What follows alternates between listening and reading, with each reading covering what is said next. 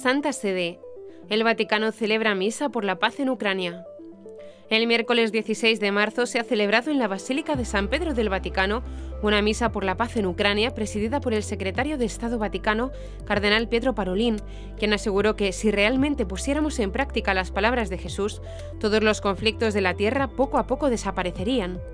Poco antes de las 5 de la tarde, hora de Roma, algunos embajadores, entre los que se encontraba el embajador ruso ante la Santa Sede, y miembros del cuerpo diplomático, llegaban a la Basílica de San Pedro para participar en la misa por el cese de la guerra en Ucrania.